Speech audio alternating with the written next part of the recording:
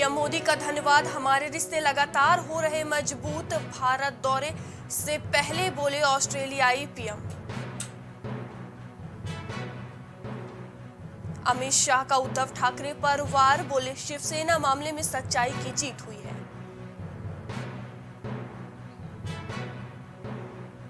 नीतीश कुमार पर गिरिराज सिंह का तंज, बोले, वह कभी अपनी राजनैतिक विश्वसनीयता नहीं बना पाए। बीबीसी पर आयकर सर्वे मामले में भड़के तेजस्वी यादव बोले, भारत को नाथुराम गोडसे का देश बनाना चाहती है बीजेपी। सीएम नीतीश कुमार का कांग्रेस को ऑफ़र, कहा साथ लड़े चुनाव, बीजेपी जाएगी।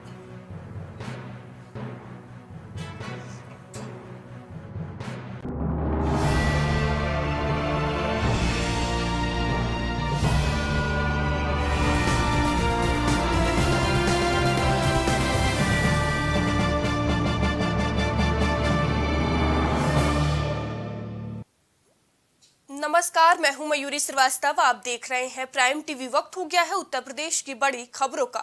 खबर गाजीपुर से है, जहाँ जमानिया में महाराज सुहेल देव जयंती कार्यक्रम में सुबसपा अध्यक्ष ओम प्रकाश राजभर पहुँचे थे और उन्होंने सपा से महिला नेता रोली मिश्रा, रिचा सिंह को निकालने पर ओम प्रकाश राजभर ने कहा कि सपा में खाता ना, वही जो अखिलेश कहे वही सही। इसके साथ ही उन्होंने कहा कि सपा में अपनी बात कहने का किसी को कोई हक नहीं है। साथ ही अब्दुल्लाह आज़म की विधायकी जाने पर ओपी राजभर ने कहा यह अदालत का फैसला है कि जिस पर कोई उंगली नहीं उठा सकता। अपना इतिहास नहीं जानता, अपने बुज़ुर्गों की कदर नहीं करता, वो समाज कभी तरक्की नहीं कर सकता। आप लंबे समय थे आप देख रहे हैं कि 20 साल हो गया मुझे महाराजा सुहेल देव जी के इतिहास को उजागर करते करते आज देश के प्रधानमंत्री, देश की राष्ट्रपति से लेकर के सारे लोगों के दिमाग में देश की 140 करोड़ आबादी में भी महाराजा सुहेल देव जी की आवाज़, चाहे वो बिहार हो, चाहे आपका बंगाल हो, चाहे महाराष्ट्र हो, पूरे देश में आवाज़ गूंजने लगी। उसी कड़ी में हम याद दिलाते रहते हैं कि चूँकि लंबे समय के बाद इतिहास उजागर हुआ है तो इनको बार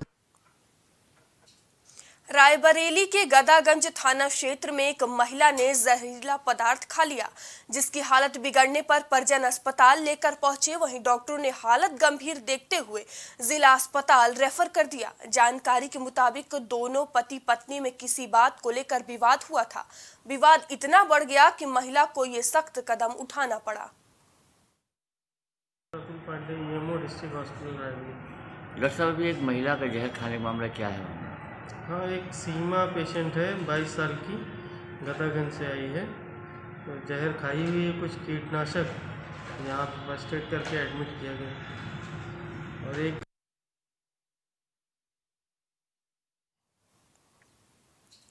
खबर बदायूं से है जहाँ महाशिवरात्रि के पावन पर्व पर भक्तों में काफ़ी उत्साह देखने को मिला। और पटना शिव मंदिर पर हज़ारों की संख्या में भगवान शंकर के भक्तों ने हर हर महादेव के नारे लगाए। बता दें इस दौरान सुरक्षा व्यवस्था के भी पुख्ता इंतज़ाम किए गए और चप्पे चप्पे पर पुलिस बल की तैनाती की गई। कितनी सालों से आप आते हैं? हम यहाँ दो हज़ार से आ रहे हैं। लगभग कितना पुराना मंदिर होगा भगवान शिव का यहाँ पे? ये तो हमें पता नहीं है बहुत प्राचीन काल का मंदिर कहाँ से आते हैं अंकल जी आप? हम दातागंज तहसील से आ रहे हैं। अच्छा आपकी मनोकामना है क्या मांगा भगवान शंकर से? मनोकामना यही रखते हैं मांगते हैं कि भोलेनाथ सदबुद्धि जल चढ़ा दिया? व्यवस्थाएँ कैसी हैं? व्यवस्थाएँ अच्छी हैं? आप ये बताइए किस प्रकार की आस्था रखती हैं आप यहाँ? आस्था अच्छी रखती हो? कितनी साल हो गई आपको आते आज की जो व्यवस्थाएँ हैं वो कैसी हैं? कितनी सालों से ये मंदिर है यहाँ पर? अच्छा। खबर बुलंदशहर से है, जहाँ तेज रफ्तार बाइक सवारों ने कैंटर को कुचल दिया। बता दें, शिकार होने वाले तीन युवक कोतवाली देहात क्षेत्र के बताए जा रहे हैं। वहीं मौके पर पहुँची पुलिस मामले की जाँच कर आगे की कार्रवाई में जुट गई है।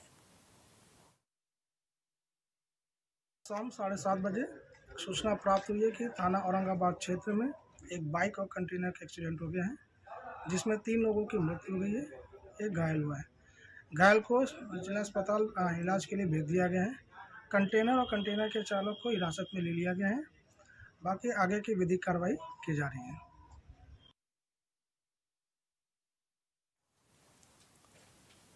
उत्तर प्रदेश की खबरों में इतना ही। देश दुनिया की तमाम खबरों के लिए बने रहिए प्राइम टीवी के साथ। नमस्कार।